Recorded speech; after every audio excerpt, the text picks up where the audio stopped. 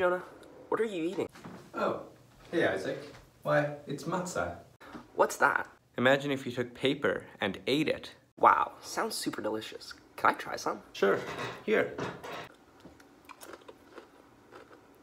Wow, this tastes exactly how you described it. You're such a master of the English language. But what's it for? Well, Isaac, I'm glad you asked. It's for the Jewish holiday of Passover, or Pesach in Hebrew. Oh, I know that one. I'm sure you do, bud. Care to explain? The story of Passover starts with the Jews in Egypt. Not those Jews. No, not those Jews either. There we go. Those Jews. Pharaoh is scared of the Jews because of their massive population, so he forces them into slavery and requires that all sons born to Hebrews must be drowned in the Nile. One baby, though, named Moses, is saved and is raised by the Pharaoh's daughter as a prince. When Moses grows up, he's told to command Pharaoh to let the Jews go in the classic Let My People Go moment captured here. Let my people go! The slaves are mine. The story goes that God lays upon the Egyptians ten plagues, the last of which is the killing of the firstborn. The Jews protect themselves, though, by marking their doors with the blood of a lamb, which is the Passover offering. God sees this and therefore passes over their houses. Get it? This plague ends up killing the Pharaoh's firstborn, and in anger he lets the Jews go. But then he changes his mind, and Moses must hurry towards the Red Sea. As the Egyptians begin to catch up, the Red Sea is split by Moses and God, and they run to their freedom as it engulfs the Egyptians and slaughters them. Fun, right? No. No, it's mostly the matzah. Oh, but there's also the Seders. Oh, what's that?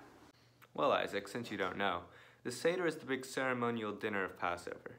Two Seders are celebrated on the first and second night, but in Israel they only do it on the first night.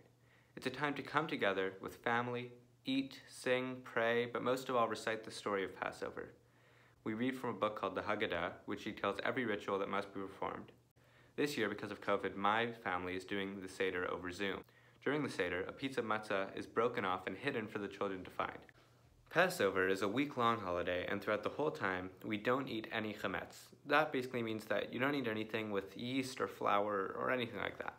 This is to commemorate the fact that when the Jewish people were leaving Egypt, they didn't have time to wait for the bread to rise, which is why we eat matzah instead of bread. During the Seder, there is also a special plate with symbolic foods on display in the middle of the table. The items on it all represent different parts of the Passover story. For example, one of the items is maror, or a bitter herb, usually horseradish. This represents the bitterness of slavery in Egypt. If you want to wish someone a happy Passover, just say Chag Pesach Sameach, which means have a happy Passover. Anyways, Isaac, now you are finally ready for Passover. You know, I think I might know somebody who knows about that. Hello, Selwyn House. I'm Rabbi Adam Scheier of Congregation Shaar Hashomayim, standing right here across the street from your school. On Wednesday night, we're going to begin our celebration of Passover, and it's an honor for me to share a brief message about Passover with you. People think that Passover is about the story, about telling the story, and that's partially true. But the essence of Passover is about the questions. There's the ritual called the four questions, where the youngest child, or sometimes all of the children, stand up and ask questions of the adults around the table.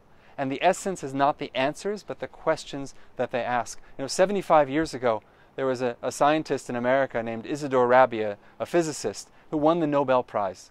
And he was asked, how was he able to achieve so much in terms of his schooling and education? What was the secret to his success? And he said something amazing. He said, for most of the other kids, when they would come home from school, their parents would ask them, Well, what did you learn today? He said, But for me, when I would come home from school, my parents would ask me, Did you ask any questions today? And that was what instilled within him the curiosity and that drive to ask questions and understand more about the world. Right now, our, our schools are closed, our synagogues are closed, our churches are closed. So much in society is closed, and we're staying at home and we're still learning. And the essence is to understand that this is not only a message of Passover, but a message for life. Keep on asking questions, stay curious, and continue to learn. Stay healthy, stay well.